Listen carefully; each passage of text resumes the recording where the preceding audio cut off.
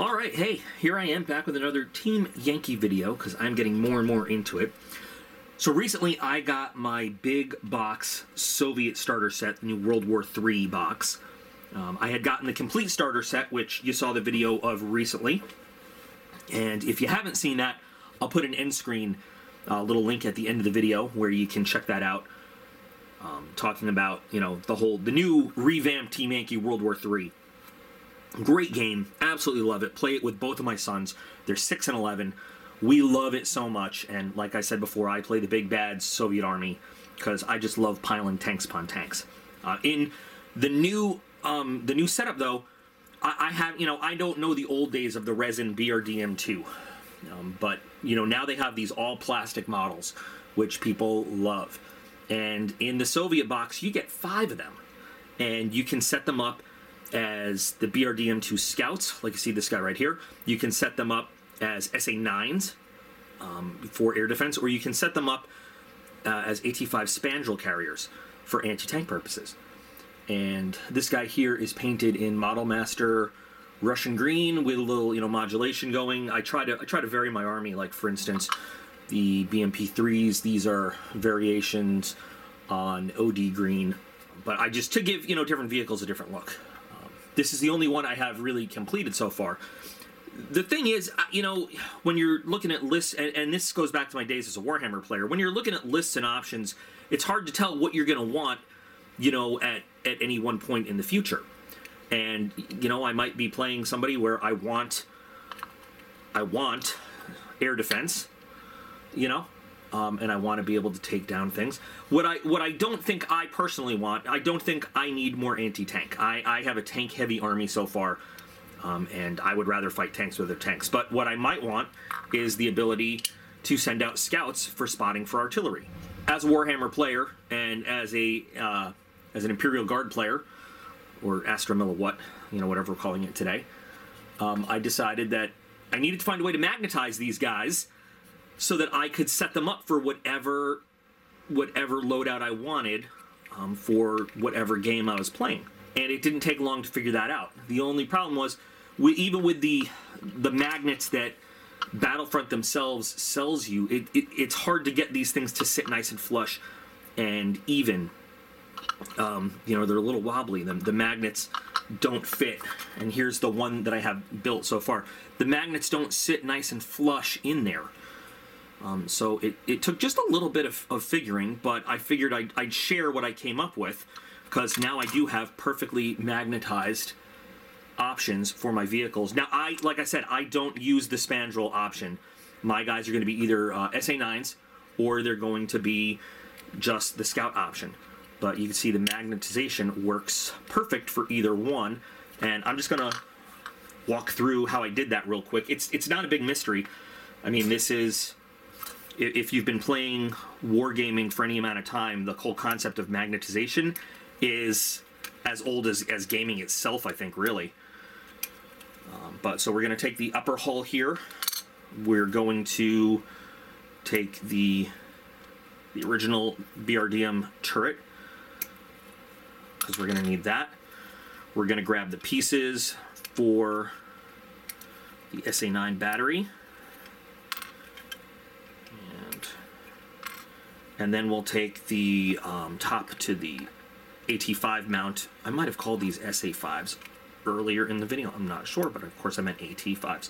Now, the one issue you might have to work out is that there's another little add-on, and you know, you could go without this if you wanted to in the game. If you want model realism, this little guy, if you're doing spandrels, needs to fit um, kind of on there. You're going to have to find a way. This goes, actually, it might fit right over the hatch now that I think about it. Um, so it might not be that much of a problem. Um, but this fits here. This little piece right here fits here. So you got to cut off that searchlight and mount this.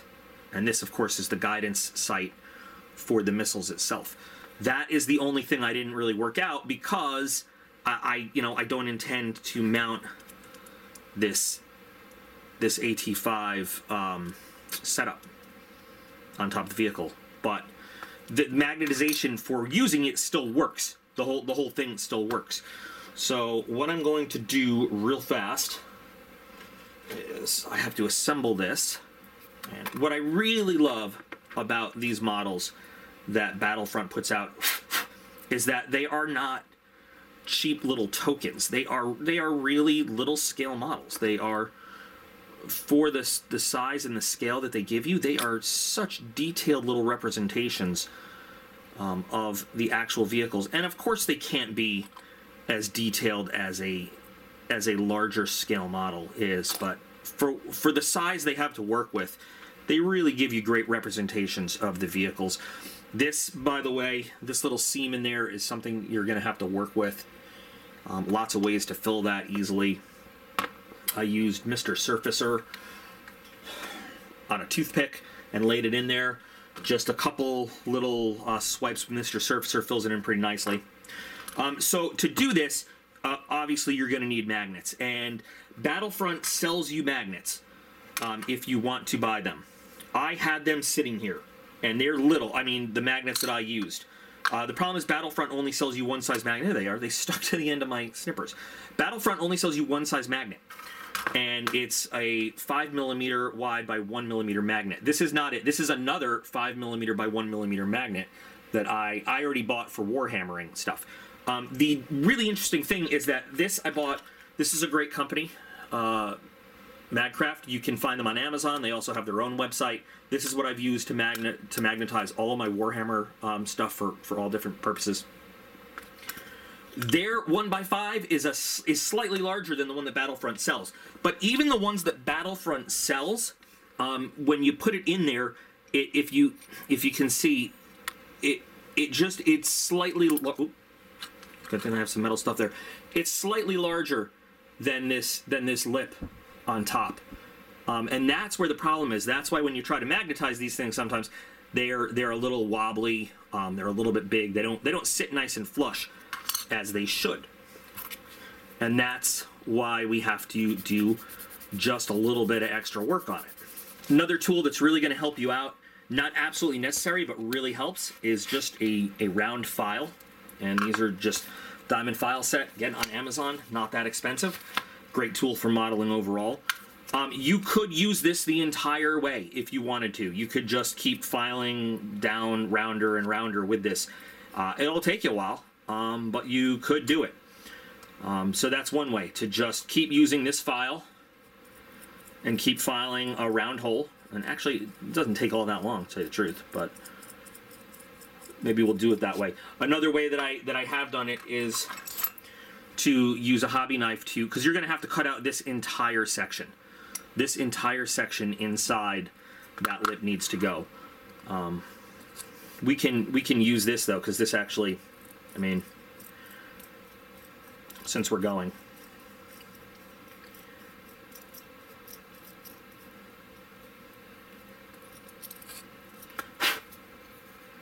And the goal is, of course, we want to get this this five millimeter magnet to sit perfectly in there.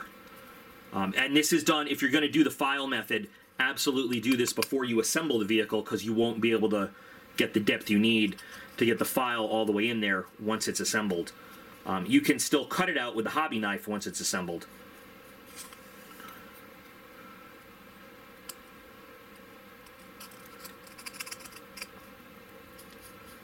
What I did on most of them was I cut it out with a hobby knife and then just used the, the circular file around the edges like this just to sort of broaden out the shape and make sure it was the perfect round shape for the magnets.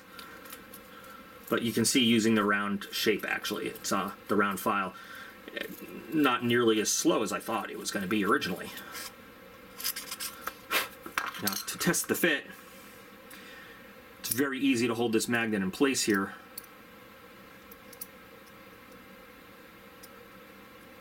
Just slide it on the tip of your hobby knife and you can kind of just just sort of press it. And not quite not quite. We got a little ways to go yet. Um, I might actually even go the other way a little bit. Just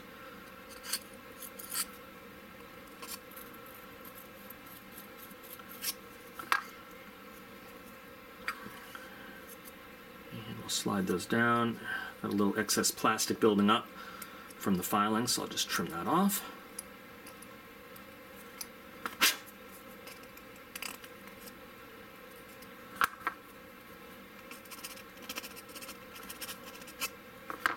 See where we're at. Oh, I wanted to jump up there. Almost, almost perfect. So just a little tiny bit more.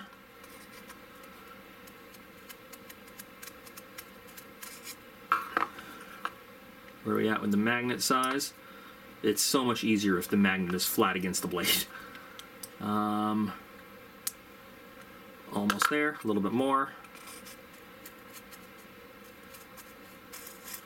You don't want to do too much because then your magnet's not going to sit in place. And when you can just press the magnet into that hole, you've got just the right size.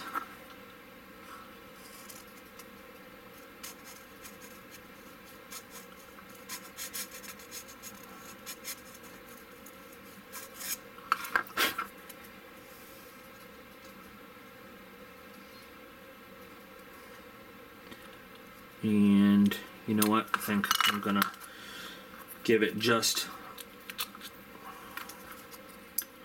just another little little poke or two.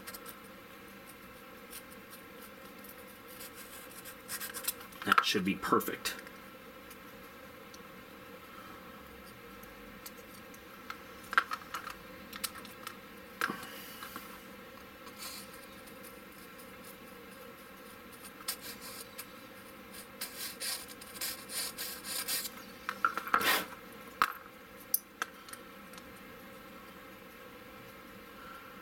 All right, now once your magnet is able to just press fit flush into there, you have gone the required depth and you're good to go. So now we need to get some CA glue, super glue, whatever you whatever you want to call it.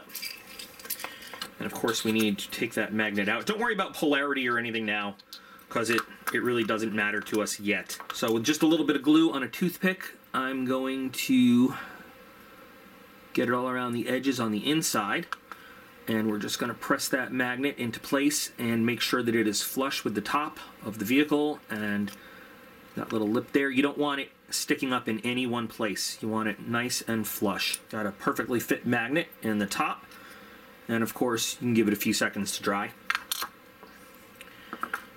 For these little guys, these are going to go inside all of the housings for the weapons here, the different armament options. And you can just stick them right on top and then use the hobby knife very carefully to separate them. And if you do that, you'll always know you've got the correct polarity there. So this one is going to go in first, and the upside sticks in to the weapons housing where it's going to go. So again, we'll take a little bit of glue on just the toothpick and put it right there on the magnet. And we'll do this turret first. Now these are three millimeter by half millimeter magnets. These little guys. Um, the if you use another one by five, it'll be it'll be too big to fit inside inside this. It'll and it'll just cause a, a raised oops. It'll cause a raised you know turret. It won't sit flush with the roof of the vehicle. And you just give it a little press in there. Now we'll let it dry and then we'll get our next one.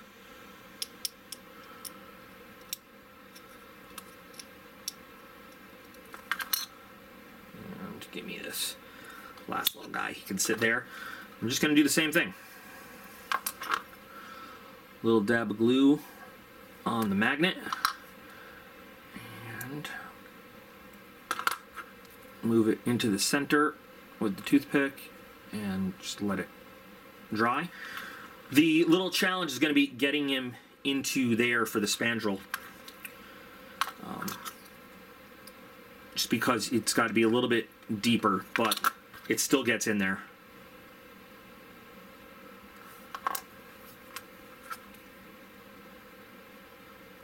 Our dab of glue. And sort of put it in and then we'll use the toothpick again to dab it in place. Now, it, you know, you've got a little bit of distance between the magnet and the contact magnet on the vehicle, but because, you know, these are rare earth magnets, they're pretty powerful.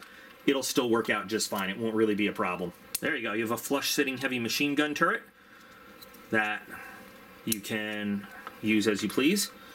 You have a flush sitting anti aircraft missile launcher that you can use as you please. And you've got a flush sitting AT 5 launcher that you can use as you please. Um, and very simple, very easy to do.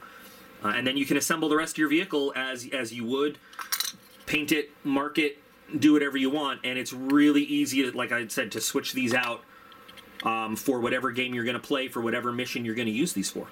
Now, with regards to the polarization of the magnets, unless you do all of them, you know, all of your vehicles kind of in a serial production line to make sure that the polarization is the same, you might end up where you have um, some tops that want to jump off and don't fit, and it might frustrate you. It's not that big a deal, but um, you know, I, I built each of mine kind of individually, one at a time. So, in order to make sure that I've I've got the right tops with all of the right vehicles, I just use a very simple marking scheme, um, and it might not be historically accurate to Soviet vehicles, but it helps me, you know, figure my stuff out.